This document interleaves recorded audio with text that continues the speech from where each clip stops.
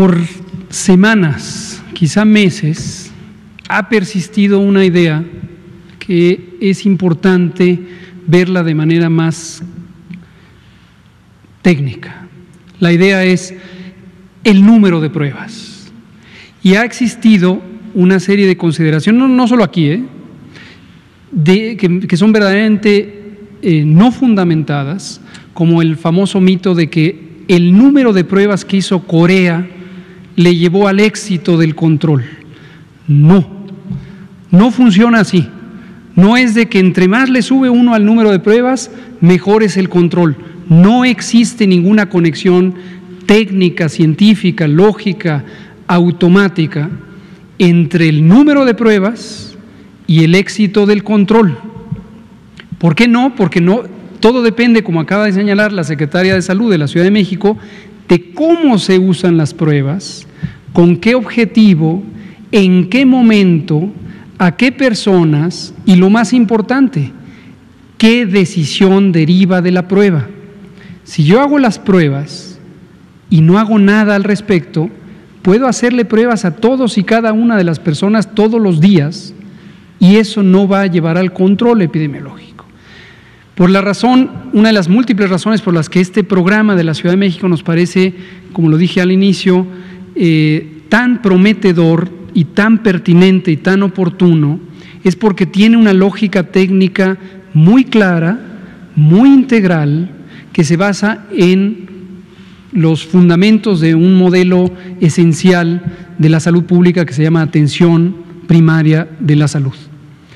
Y ahí sí, ahí sí cada prueba tiene un significado relevante porque cada prueba se le hace a una persona para que tenga una consecuencia, si sale positivo o si sale negativo.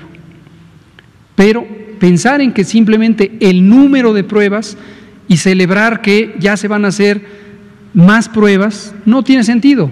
Lo que tiene sentido es un programa bien estructurado, bien planeado, bien razonado, con objetivos claros, con un esquema de escalamiento, con una combinación de intervenciones. Este modelo de los SMS y la asesoría telefónica para hacer un triage en la comunidad es verdaderamente virtuoso. Entonces, agregar pruebas para fortalecer o reforzar o ampliar o hacer más efectivo y eficiente un modelo bien planeado, qué bueno que haya pruebas.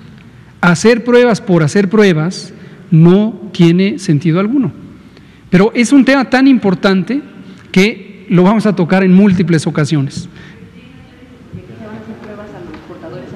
Aquí se van a hacer pruebas a varios de los aspectos que son relevantes para la detección temprana y el eh, inhibir o suspender las cadenas de transmisión. Eso es lo relevante. Esa es la decisión que deriva. Ahora, retomando, ya no va a dar tiempo, Carlos, disculpe mañana, pero retomando las expresiones que dijo la secretaria de Salud de la Ciudad de México, la doctora Oliva López Arellano, está también visualizar que hay distintos contextos de la vigilancia epidemiológica. Está la vigilancia epidemiológica de los casos hospitalizados, está la vigilancia epidemiológica de los casos leves, en donde seguimos el modelo Centinela en todo el país, incluida la Ciudad de México, está la vigilancia comunitaria, están los estudios de brotes territoriales, están los estudios de brotes en poblaciones reconocibles, como las personas privadas de la libertad, o las casas eh, de adultos mayores, o los mercados públicos, o la central de abastos, etcétera, etcétera. Para cada elemento existe una modalidad técnica relevante celebro y realmente nos entusiasma muchísimo la oportunidad de trabajar mano a mano apoyando a la Ciudad de México con, esta iniciativa propia del gobierno de la ciudad, pero que es perfectamente compatible con lo, con, lo que hemos planteado por, por meses. ¿no? Pero es un tema muy importante. Le agradezco muchísimo, doctora Oliva, muchas gracias. Y seguiremos tratando ese tema, si nos permiten, va a ser creo que de interés para la audiencia y ojalá que para que logremos tener un mensaje que ayude a que la población, como lo dijo al inicio la Secretaría de Salud, la doctora López Arellano, es un asunto de corresponsabilidad.